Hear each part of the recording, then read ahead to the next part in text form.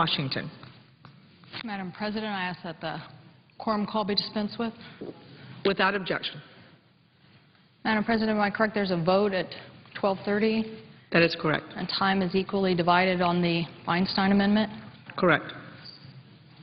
Madam President, I rise today to support the Feinstein Amendment and to ask my colleagues, who I know have been working diligently on this legislation for several years now, to respect the very tough balance that has been sought in this legislation as this legislation came out of the Judiciary Committee.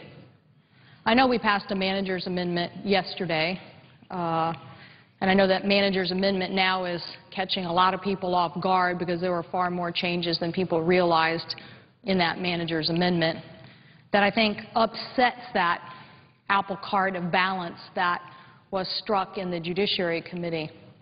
And so I'm uh, urging my colleagues to support the Feinstein Amendment and uh, expressing my concern for the underlying bill uh, that it is something that at this point in time I can't support. Now, I don't come to that decision lightly, nor uh, the fact that I have many uh, high-tech companies in the state of Washington who might say we need patent reform and that this is good innovation.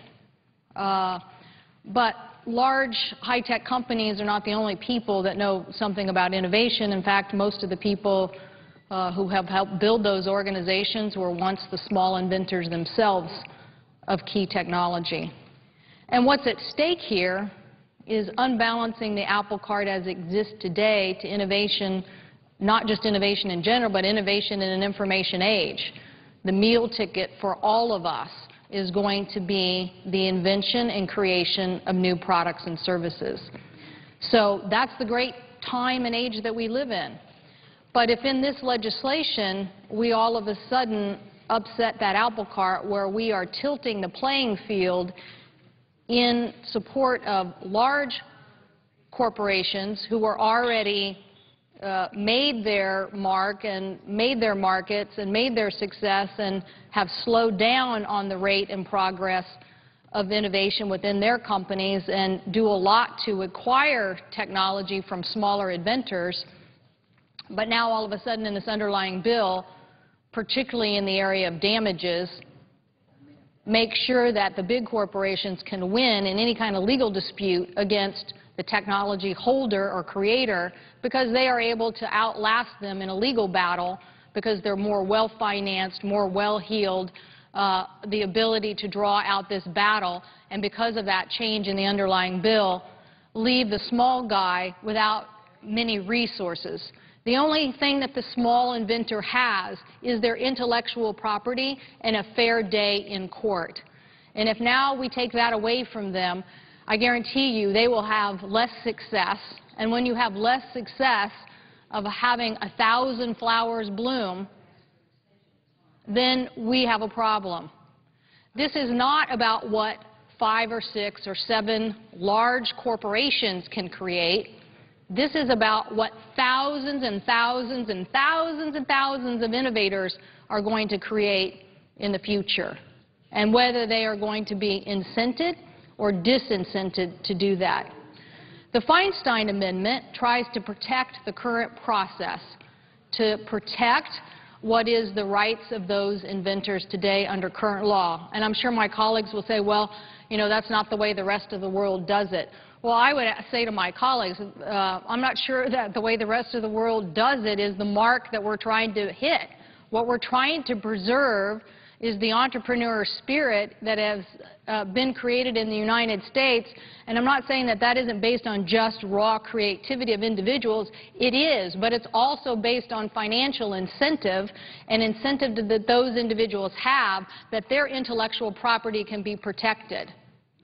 But if this is going to be a game about the big boys coming to Washington and squashing the small inventors, count me out.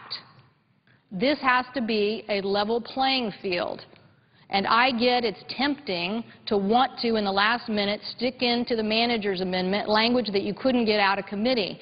But if we want to get this legislation through this process, then we have to take into consideration the rights of the inventors along with the rights of those larger companies that are trying to acquire or integrate or be part of the manufacturing on a larger scale of that inventor's technology. So I would say to my colleagues that uh, the Feinstein Amendment uh, and keeping uh, the rights of the inventors where they are gives them at least a modicum of holding on to that. I think the underlying bill uh, has changed so much in the manager's amendment that um, we are going down a road that is going to make it very difficult for us to finally get a piece of legislation. We have to respect the rights of the small individuals here. And we can't have carve-outs for specific jurisdictions like Wall Street who think that they can have their cake and eat it too. This has to be about how we move forward on a smoother patent process, but how we take into consideration that we have gotten to this great place in our country because we have had a balance and an empowerment of these technologies and not all of a sudden in one fell swoop take that away on the Senate floor and basically undermine what is the creative opportunity for the U.S. economy. It is in invention. And we want thousands and thousands and thousands of inventors, not just inventors that work for big corporations, thousands of inventors who have their rights. So I support the Feinstein Amendment, and um, I thank the President. I yield the floor. Madam President. The senator from California. Thank you, Madam President. I want to thank the senator from Washington for her comments. We welcome her support, and uh, I was pleased to be able to listen to these comments. Um, what is the current status of the time allocation? The proponents have three and a half minutes remaining, and the opponents have 10 minutes remaining. Uh, I would ask that our three and a half, unanimous consent that our three and a half uh, minutes be extended so that Senator Risch, who will speak next, uh, has the time that he requires, and I have the time for a brief close. Without objection. Thank you very much. Thank you. Um, Madam President, uh, uh, fellow senators, I'm uh, proud to come to the floor here to uh, speak on the amendment uh, to which I am a co-sponsor. Look, this, this is simply a matter of fairness.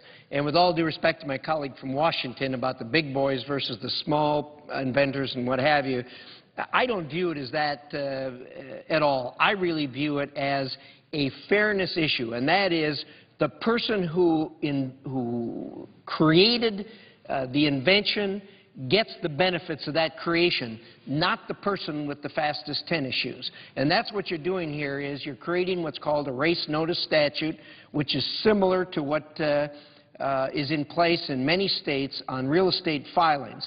And it, it has a legitimate place in the real estate market, but not here. With so much on the line, with creativity on the line, it should be the person that actually does the invention uh, who reaps the benefits of that invention. And that's all this does.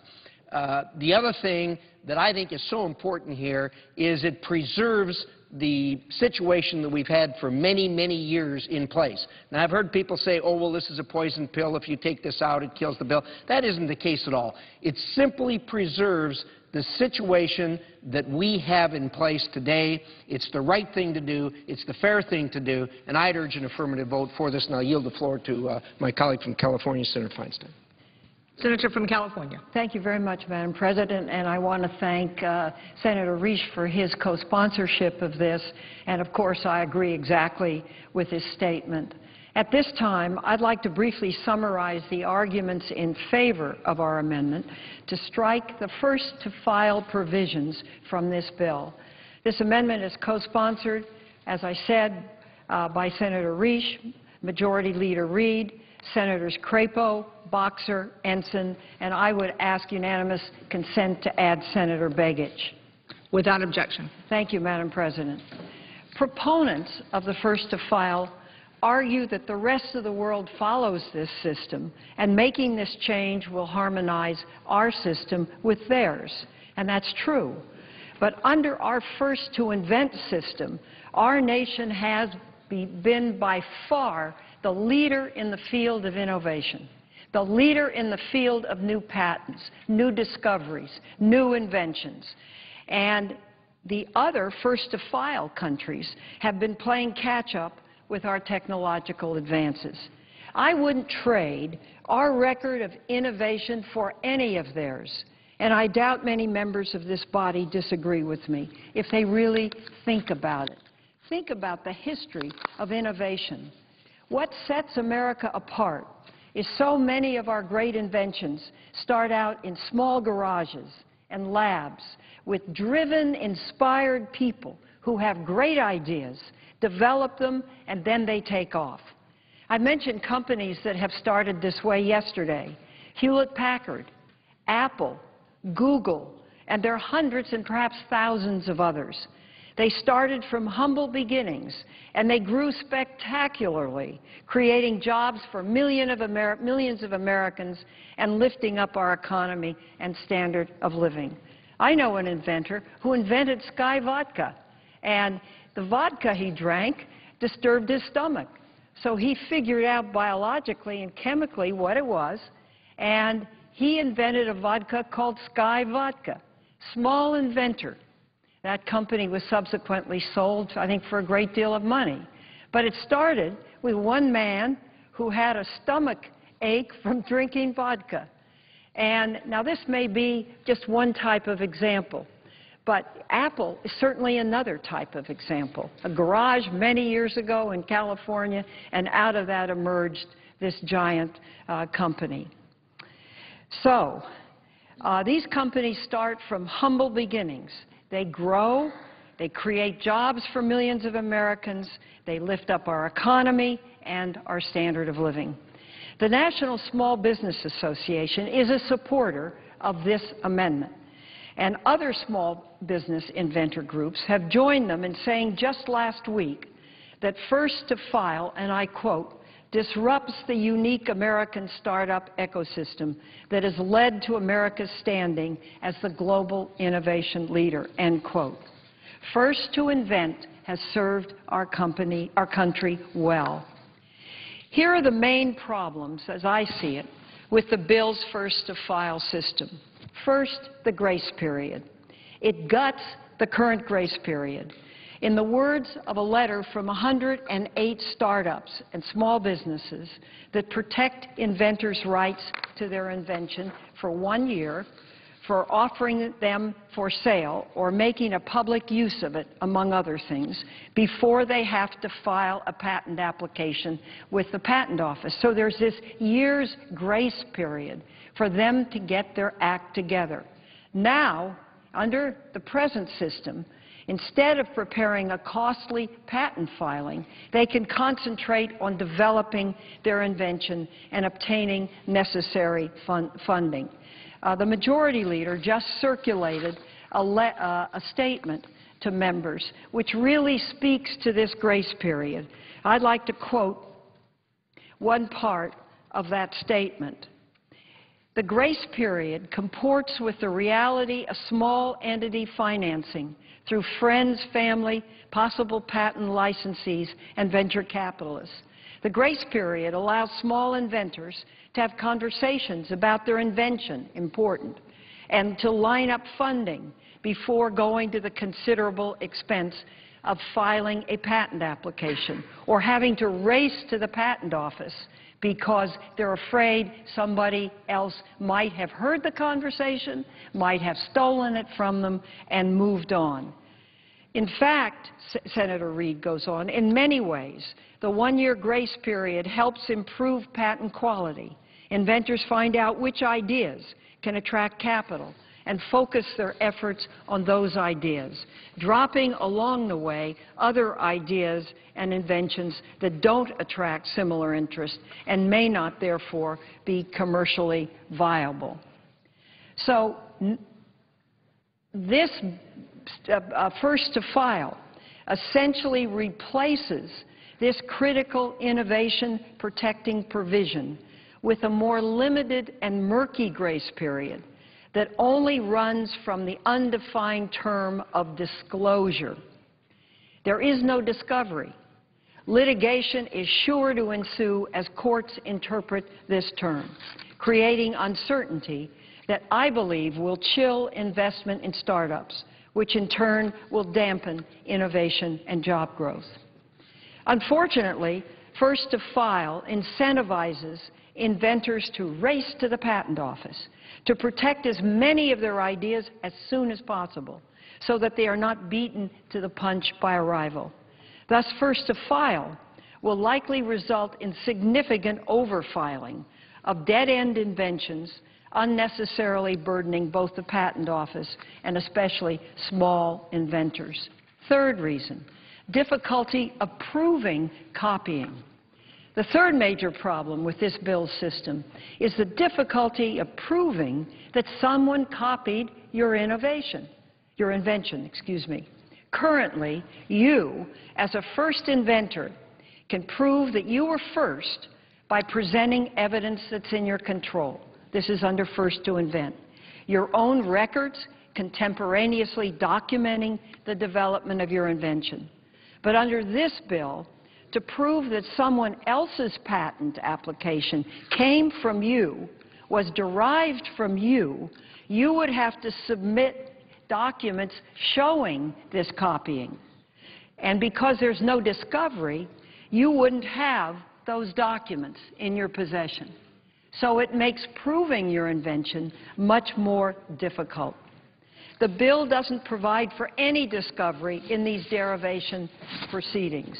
Therefore, the first inventor can't prove his or her claim because he or she does not have access to the documents of the alleged copier. Senator Yieldamore, how much time is remaining to the senator from Vermont? I will just take two minutes more, Mr. The Chairman. senator from California, I by have no- by consent, is is using the opponent's time. Is using my time? No, I'm not. Uh, I've asked to extend our time. Madam President, if we're supposed to vote at 12:30, and I I realize the senator couldn't be here when her amendment was brought up and couldn't be here when her amendment was was modified, uh, we did that for her, but I would, in opposition to it, I should at least have some of my time to be able to use. I'd be very happy to, I was here yesterday. I did speak on the floor, Mr. Chairman. I did, uh, in, in a rather lengthy speech, indicate the arguments that I felt. I have asked just for a short period of time. My remarks are no more than five pages, which should take me a minute and a half more to conclude. And I hope I would Madam offered Madam that time. President, then at the hour of 12:30 when we're supposed to vote, I would ask consent, so far as my time has been used by those within another position, that Senator Grassley and I have four minutes uh, back of our time. Without objection. And the senator had consent. Yeah, Fine, then I would ask that my time on this side be extended for another minute and a half. The the senator has that consent. Oh, thank you very much. Um, So I have outlined the difficulty of proving copying under the first-to-file system. Disputes about who is the first to invent are resolved by the Patent Office in what's called an interference proceeding, which number about 50 a year only out of 480,000 patent applications. Now, the opposition infers that this is a huge problem. 50 a year out of 480,000 patent applications is a very small percentage. As I said in the beginning, Madam President, America leads the world under the first to invent system. I don't think we should fix what isn't broken. This works for people who have great ideas but don't have money, who begin in a garage, in a lab. It has worked well for our system. I ask that you join Senator Risch, Majority Leader Reid, Senators Crapo, Boxer, Ensign, Begich, and myself in voting yes on this amendment. I yield the floor, Madam President. Thank you very much. Madam President, as I said earlier, The senator from Vermont. Madam President, um, as I said earlier, Secretary Locke confronted the erroneous notion that the current outdated system is better for small independent investors. So he said the cost of proving, inventors rather, he said the cost of proving that one was first to invent is prohibitive, requires detailed and complex documentation invention process. In cases where there's a dispute about who the actual inventor is, it typically costs at least $400,000 in legal fees, even more if the case is appealed. By comparison, establishing a filing date through a provisional application establishing priority of invention costs just $110. Madam President, people remember nothing else. This amendment, and I appreciate the work of the distinguished senator from California, but her amendment is a killer amendment. It would kill this bill. The, our bill is set up so that it will be, allow us to compete with the rest of the world. Right now in our patent system, we're behind the rest of the world. All the countries we have to compete with. Our bill as it's written allows us to compete with the rest of the world. Her amendment would hold us behind, back and give an advantage to those countries that we have to compete with. I yield the floor. The senator from Iowa. I associate myself with the remarks that the distinguished chairman of the committee just made and ask people on my side of the aisle uh, to uh, not support the Feinstein amendment. I uh, move at this point uh, to table the Feinstein amendment and ask for the yeas and nays. Is there sufficient second? There appears to be. The question is on the, to to table the motion, to table the Feinstein amendment as modified. The yeas and nays have been ordered. The clerk will call the roll.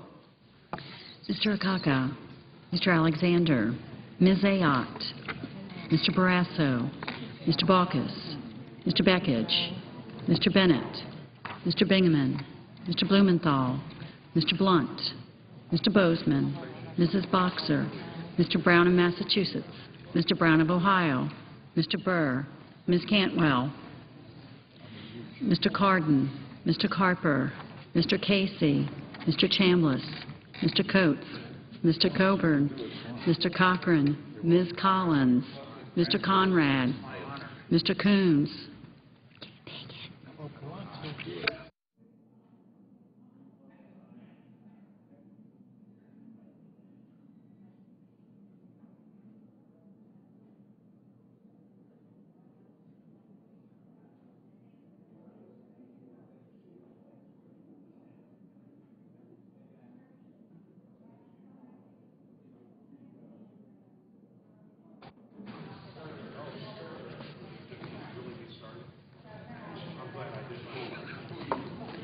Mr. Coons,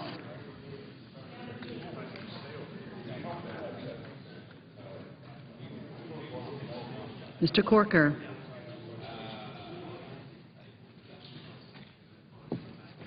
None for me.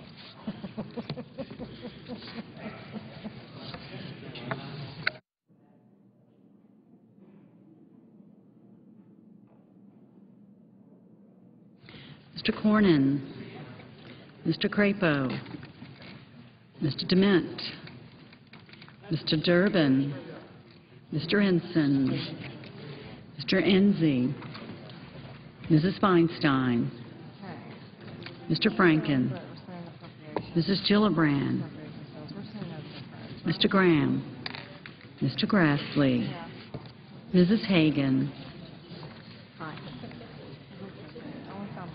Mr. Harkin, Mr. Hatch, Mr. Hoeven, Mrs. Hutchison, Mr. Inhofe, Mr. Inouye, Mr. Isakson, Mr. Johanns, Mr. Johnson of Wisconsin, Mr. Johnson of South Dakota, Mr. Kerry, Mr. Kirk, Ms. Klobuchar, Mr. Kohl, Mr. Kyl,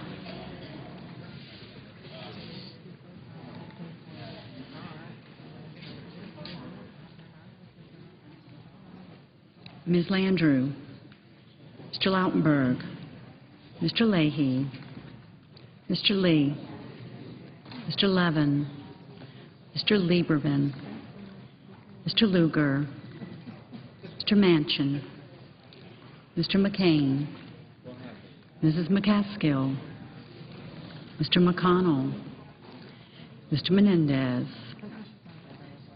Mr. Merkley, Ms. Mikulski, Ms. Moran,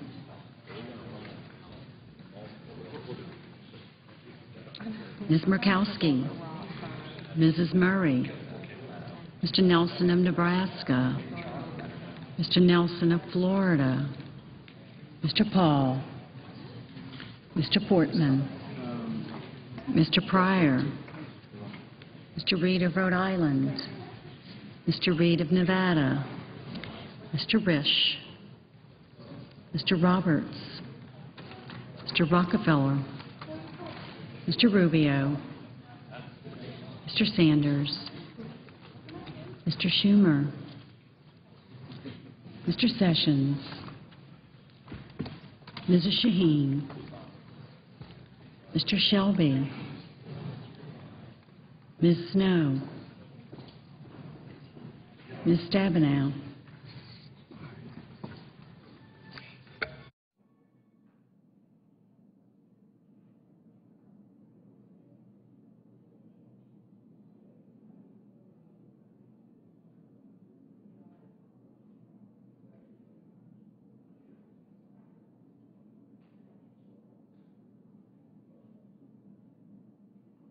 Mr. Tester, Mr. Thune, Mr. Toomey, Mr. Udall of Colorado, Mr. Udall of New Mexico, Mr. Vitter, Mr. Warner, Mr. Webb, Mr. Whitehouse, Mr. Wicker, Mr. Wyden, Mr. Brown.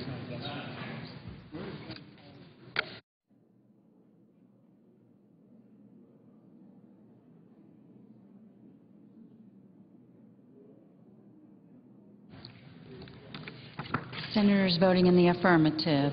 Blunt, Brown in Massachusetts, Cardin, Carper, Corker, Grassley, Hagan, Leahy, Lieberman, McCain, and Nelson of Nebraska. Senators voting in the negative. Ensign and Tester.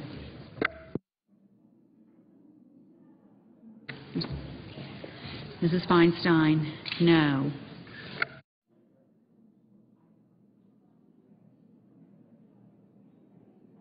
Ms. Cantwell, no.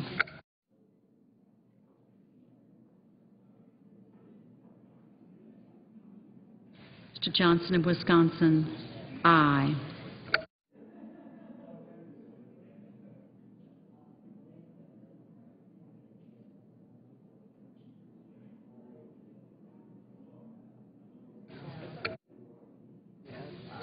Mr. Alexander, aye. Mr. Graham. Mr. Graham, aye. Mr. Thune. Mr. Thune, aye.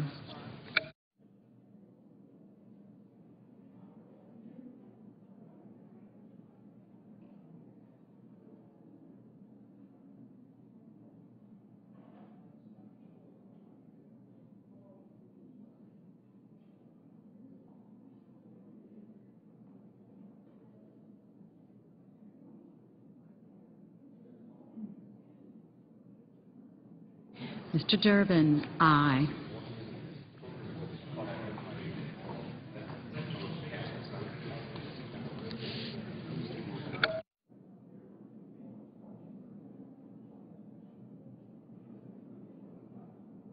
Mr. Isakson, aye. Mr. Moran. Mr. Moran, aye.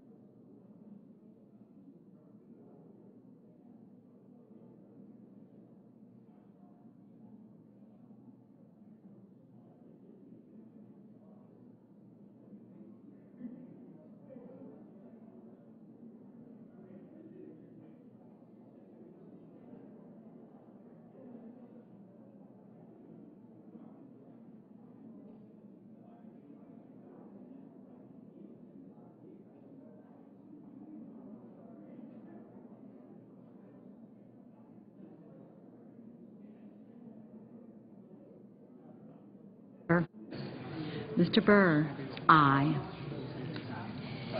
Mr. Kyl, aye. Ms. Landrieu, Ms. Landrieu, aye.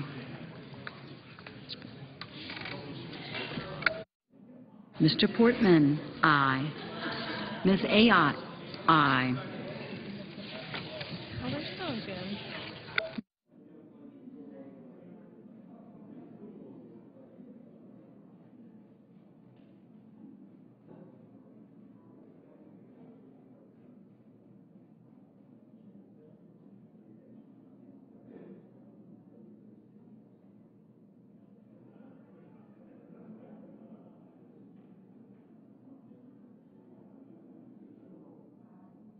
Ms. Klobuchar, aye. Mr. Sanders, aye. Mr. Inhofe? Mr. Inhofe, aye. Mr. Boozman, aye. Mr. Vitter? Mr. Vitter, aye. Mrs. Hutchison? Mrs. Hutchison, aye.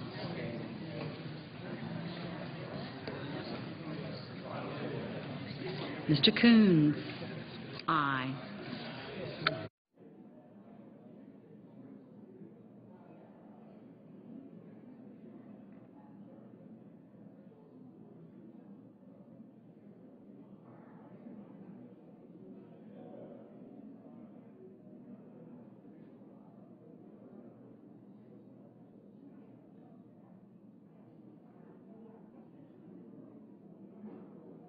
Mr. Nelson of Florida, no.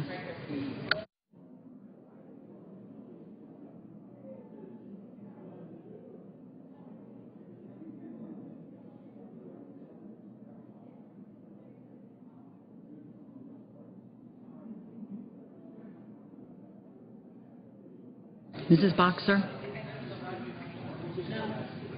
Mrs. Boxer, no. Mr. Brown? Mr. Brown of Ohio, aye. I'm gonna be here for a while, Mrs. Murray? as far as I know. Mrs. Murray, aye. Mr. Coats? Mr. Coats, aye.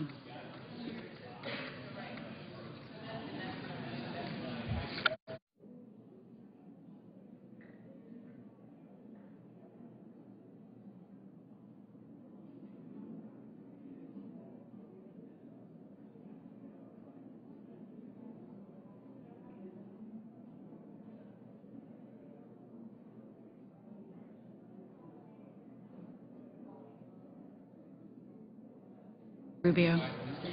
Mr. Rubio, aye. Mr. Blumenthal, no. Mr. Whitehouse, no. Mr. Paul, aye.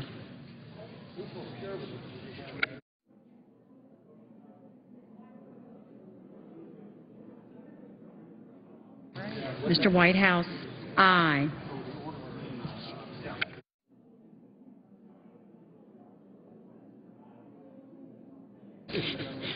Mr. Blumenthal, aye.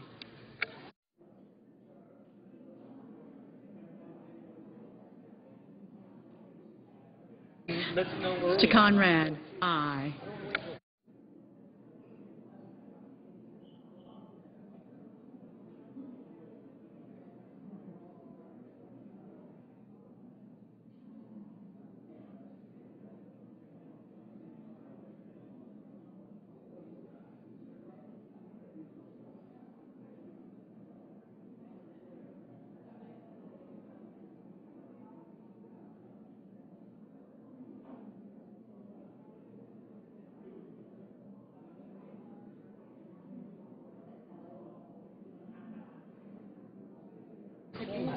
Mr. DeMint, aye.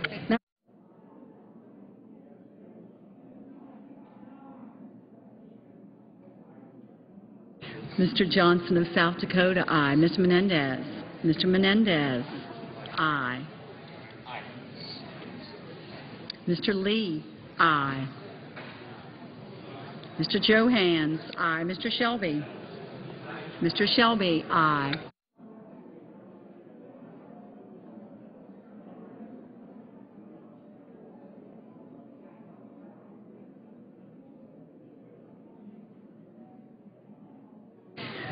Mr. Webb? Aye.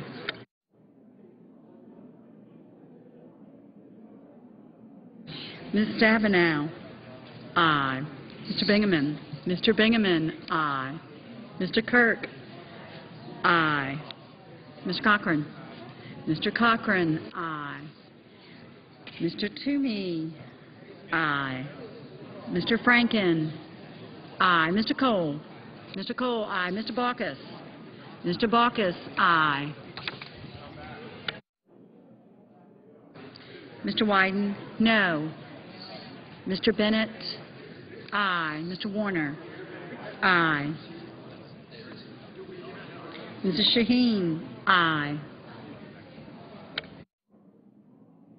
Mr. Manchin? Aye. Mr. Begich? No.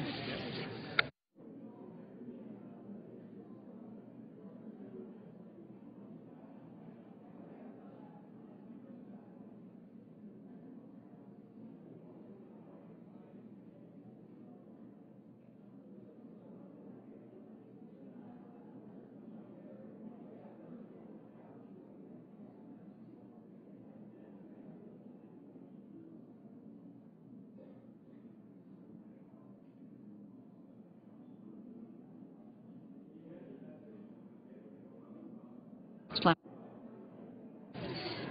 Lautenberg? Aye.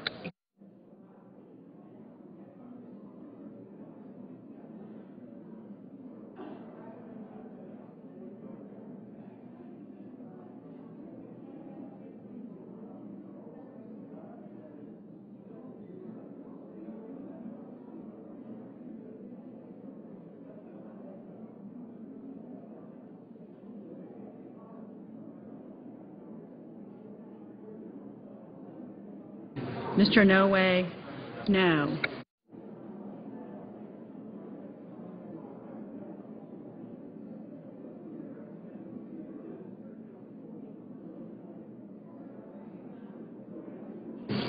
Ms. Collins?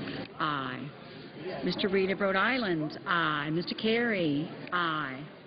Mr. Lugar? Aye. Mr. Wicker? Aye. Mr. Risch? No. Mr. Hoeven? Aye.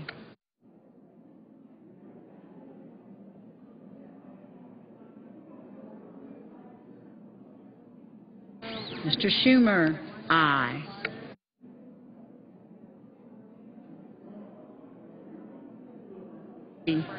Aye.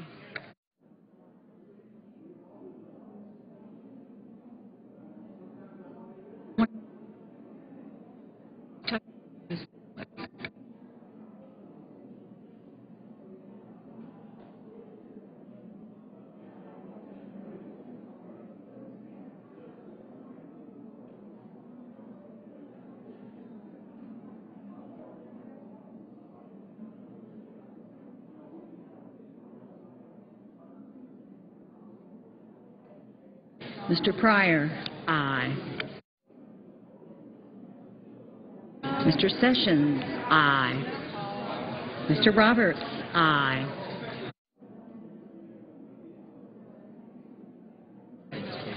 Mr. Reid of Nevada? No. Ms. Gillibrand? Aye.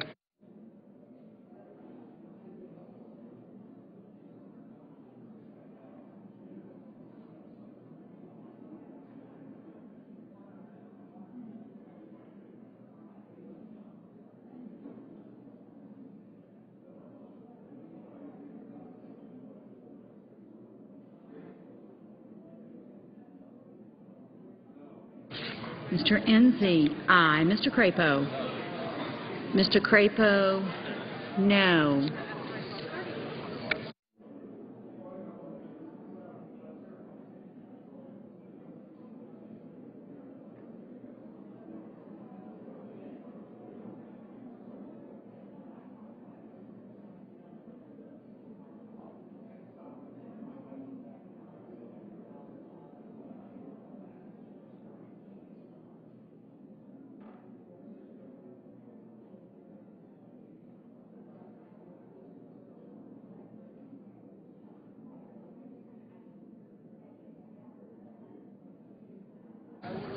Ms. Snowe, aye. Mr. Casey? Mr. Casey, aye.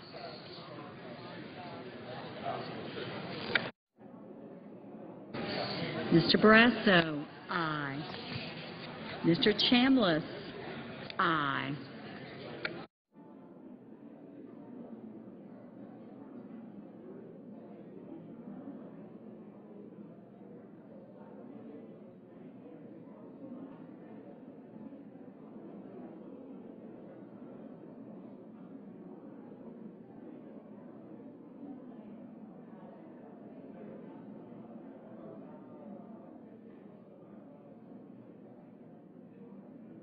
Mr. Udall, Colorado, aye.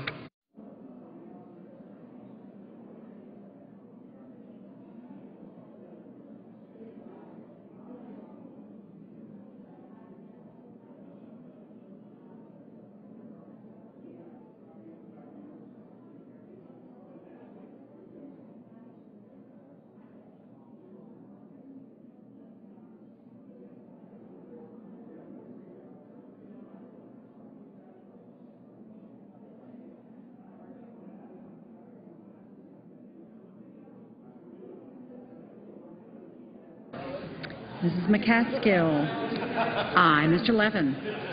Mr. Levin, aye.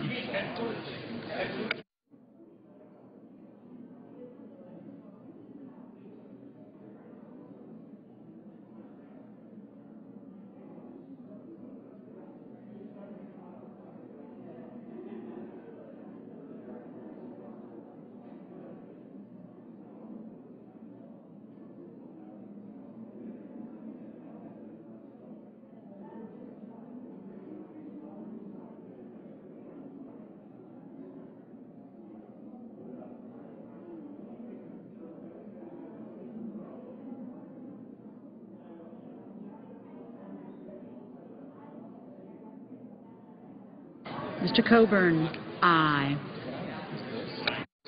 Mr. Udall of New Mexico, aye.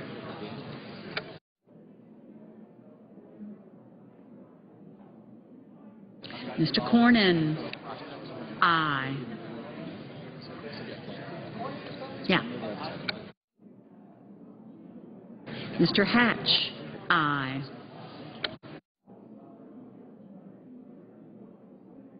Ms. Murkowski, aye.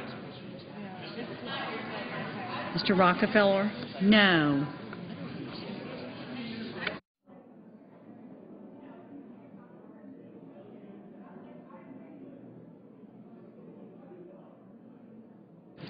Mr. Merkley, aye.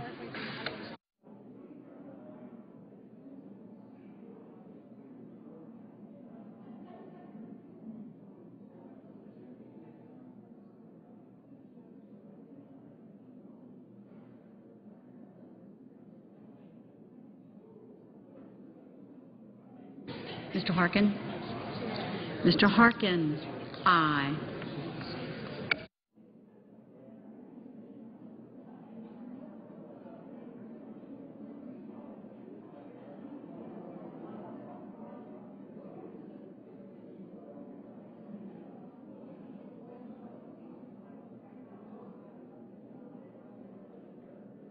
Mr. McConnell, aye.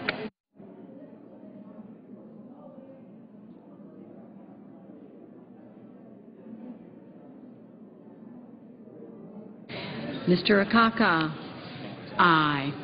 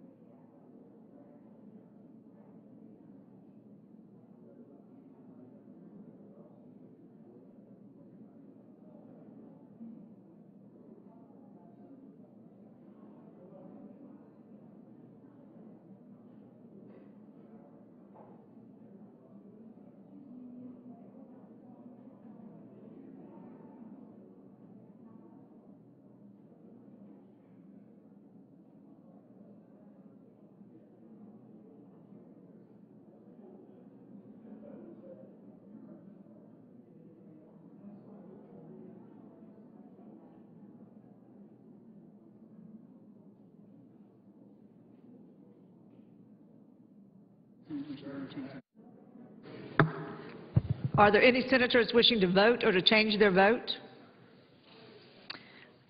The motion to table, the Feinstein Amendment Number 133 as modified, has been agreed to. The the ayes are 87, the nays are 13. Move to reconsider. So moved. Without objection. Table, yep.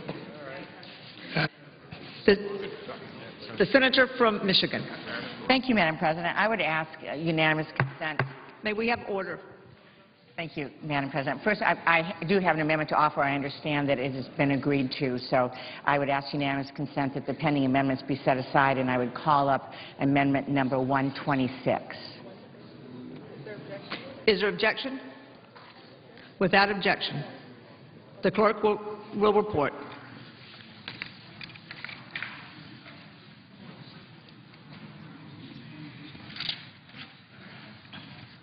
The senator from Michigan, Ms. Stabenow, proposes amendment numbered 126. On page 104, strike line 23,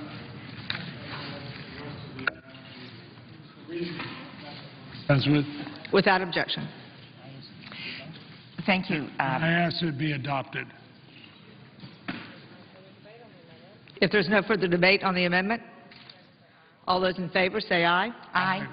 All those opposed, say no. The ayes appear to have it. The ayes do have it. I The move to amendment recon, is agreed to, I move to reconsider, Laid on the table. Madam with- President. Without yield- objection. And I yield to the senator from Michigan. The senator from Michigan. Thank you very much, Madam President. And I want to thank uh, the distinguished chairman on Judiciary Committee and uh, uh, our ranking member and those who are working very hard on a very, very important jobs bill here today. And on behalf of the people of Detroit and people of Michigan and Senator Levin and myself, I want to thank very much uh, the members for supporting this amendment. Uh, just a few months ago, we learned that Detroit, Michigan will be the home to the first ever satellite office of the U.S. Patent and Trademark Office. This office is really great news for us because in Michigan we have a proud tradition of innovation and invention. And uh, we are looking forward to continuing that tradition while reducing the backlog of patent applications so that new products can get into the market faster. Uh, This amendment we just adopted uh, would name the new would name the new facility after a great Michigan inventor, Elijah Michigan ingenuity and entrepreneurship. Uh, his parents escaped slavery and fled, fled across the border to Canada. While training as an apprentice in Scotland, he came to Ypsilanti, Michigan, and set up home and had a home base of, in uh, inventing things, an invention shop. And over the course of his brilliant life, Elijah McCoy secured more than 50 patents, but he's best known for his inventions that revolutionize how our heavy-duty machinery, including locomotives, function today. And uh, he has, I, will not go through all of my statement at this time, uh, Madam President. I will put it in the record, but I would note uh, in interest that with his many inventions, he was incredibly effective. In fact, uh, many tried to copy his ideas, but no one could match McCoy's ideas. And in fact, machinists started asking if their engines were using the real McCoy. And so that's where we came to the, uh, the phrase, the real McCoy. We're very proud of that because of McCoy, Technologies. Uh, he didn't have an easy journey. Uh, as an African American uh, in those times with the Industrial Revolution going on, but uh, he never gave up, continued inventing, and the city of Detroit today proudly celebrates Elijah McCoy Day and has dedicated his home as a historic site. And uh, we're very proud of that as well. So it's a, a great honor for us to have this first ever patent trademark satellite office and to have it named after a great leader and a great inspiration in Detroit. And I thank very much my colleagues for supporting this amendment.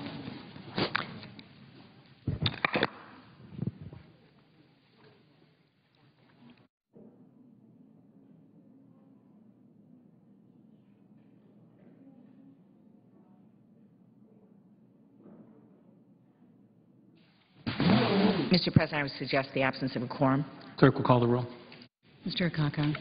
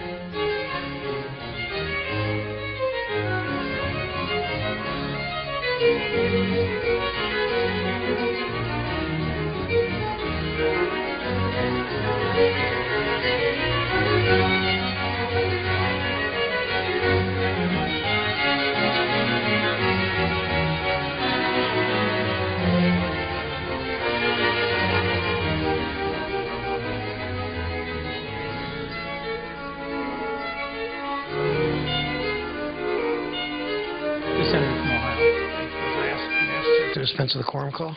Without objection. Uh, Thank you, Mr. President. I, we've all watched the news, um, Madison, Wisconsin, Columbus, Ohio, Trenton, New Jersey, uh, other places around the country where workers, uh, public employees who, when you really analyze it, are paid with, including benefits, not much more or less, depending on the place, than comparable private sector workers, whether they're high school graduates or college graduates or whatever. The, the, the pay is pretty similar, and the benefits, overall pay and benefits are pretty similar. We've seen around the, around the country that these public employees are, in most cases, willing to share in the sacrifice of balancing budgets and share in the sacrifice of, of fighting back against this bad economy. In fact, we know that, that workers, teachers, police officers, nurses, uh, people working at the Unemployment Bureau, people working at the Department of Interior, whatever, that, that they have taken pretty big hits already in terms of lost jobs, in terms of, of no raises, in terms of, um, of paying more for their health benefits. So we know, even though these are not the people that caused the recession any more than the workers at Lordstown, Ohio, or assembling cars, or Defiance, Ohio, building engines, or Northwood, Ohio, making bumpers for the Chevy Cruze, even though we know they aren't, weren't responsible for the failure of the auto industry. Uh, there just seem to be, as we've seen from these, these ideological conservative governors, there seem to be an assault all over the country on workers, blaming workers, whether they're public or private workers, blaming workers for the problems in this economy. It's, they continue to give, want to give tax cuts to the richest people to Wall Street as they take their bonuses and make big dollars and see their incomes go like this. But as workers have pretty much had no real increase in the last 10 years, wages in this country have mostly been stagnant, how can you blame the workers in this? And that's, that's why what we've seen around the country is, has been so interesting. 8,500 people two days ago in Columbus, Ohio, demonstrating not against budget cuts, because they know those are coming, but demonstrating against this direct assault by the government, by the governor and the legislature, legislative leaders, on the right to organize and bargain collectively, a right that has been part of Americana, that have been part of our values for 75 years. Why do they think we have a middle class? We have a middle class because workers could band together and say to a company that's very profitable, some of that profit you're making, we should get some of it because we're your workers and we've made your company more prosperous. Management's important, crucial. Workers are important, are crucial. And worker wages go up, management wages typically go up, but we've seen workers' wages just stagnant now, in part because of a lack of unionization or a decline in unionization. Now, we're also seeing in Madison, in Columbus, in Trenton, in Harrisburg, in Indianapolis, in Lansing, in these, these capital cities, especially in my part of the country,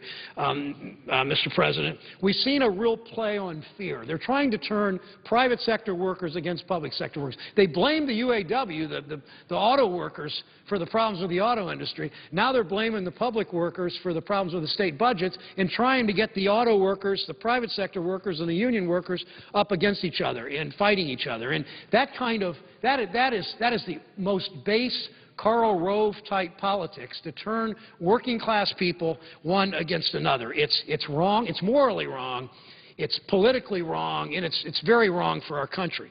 Now, What's also been interesting about these protests, they're not all steelworkers and electricians and uh, American Federation of Government Employees and AFSCME and SEIU. There are a lot of people of faith that have been involved in this. I did a roundtable at an Episcopal church right off State House Square, and the leaders of the church and some of the volunteers from the church were there, and they know that part of my belief and, and I, don't, I don't preach or wear on my sleeve my Christianity, but they understand the Bible talks a lot about poverty and a lot about fairness and equality and, and egalitarianism, if you will.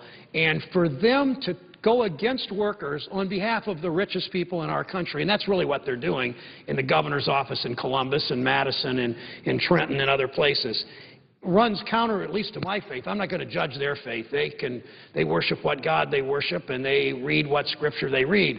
But when you look at what, what my faith means, and whether I'm, I'm, as I said, I'm a Lutheran, I'm not a Catholic, but you look at Leo the 13th and, and, and what he said about what Catholicism means for workers in fairness, uh, you know, it's, it's, it's uh, point match, whatever, point set match. I mean, that clearly spoke very definitively about this. And, Mr. President, I, I've said this on the floor today, before today, but I, I wear this pen on my lapel. It's a depiction of a canary in a bird cage. A hundred years ago, the miners took a canary down in the mines. If the canary died from lack of oxygen or from toxic gas, the miner got out of the mine. He, he only had himself to depend on. He didn't have a government that cared much in those days to write safety laws, particularly child labor laws in the mines. He didn't have a union that was strong strong enough in those days to fight back.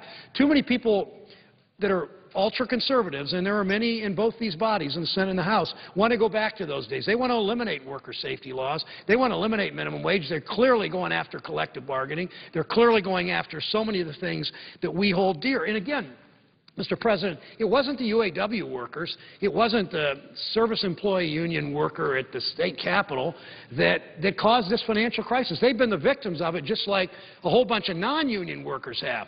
But this financial crisis was caused by greed, by people overreaching, by the richest in our society grabbing and grabbing and grabbing for more wealth, and then they're going to turn this Let's change the subject, turn this against, against those workers. That's just happened um, far too many times in our country. Now, Mr. President, yesterday, uh, I'm a new member of the Senate Appropriations Committee, and I'm lucky enough to serve on Senator Leahy's um, subcommittee on foreign operations. And we brought the Secretary of State in, uh, Secretary Clinton, to talk to us about the State Department budget.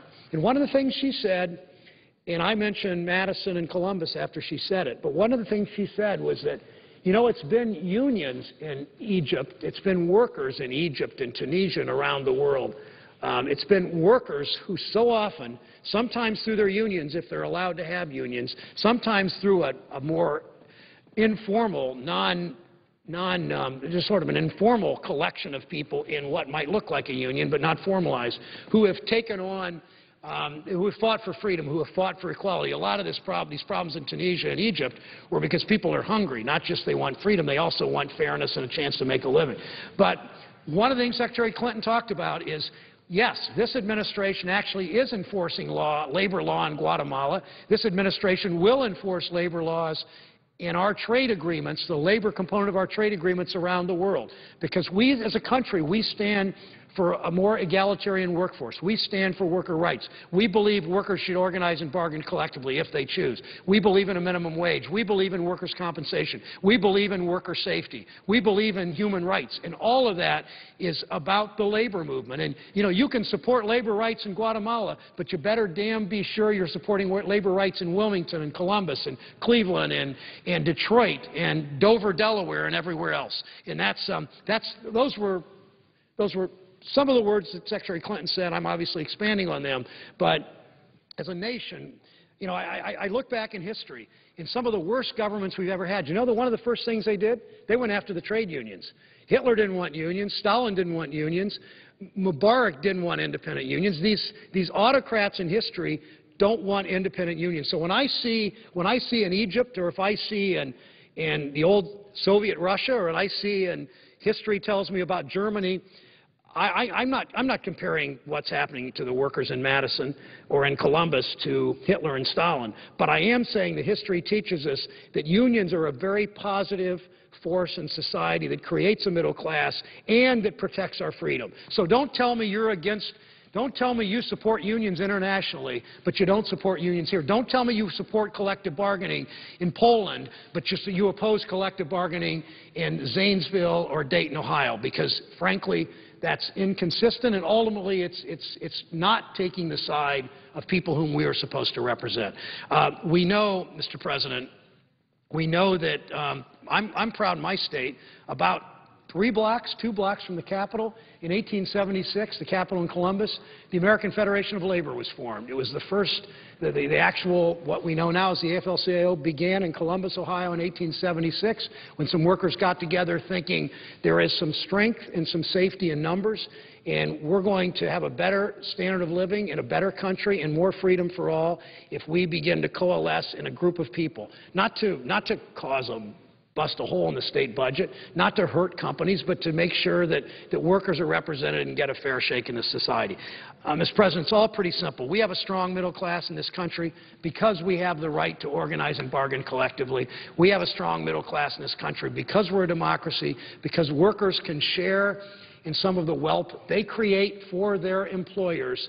And so I hope 10 years from now, Mr. Mr. President, and I know that in Delaware this is something you fought for eh, with manufacturing and middle class and all, that we will see as productivity goes up and profits go up, that workers' wages will go up too. It's the American way. It's what we stand for. Nothing in our society, frankly, is more important than a prosperous middle class and what it brings to us in terms of freedom and equality. Mr. President, I, I yield the floor. Note the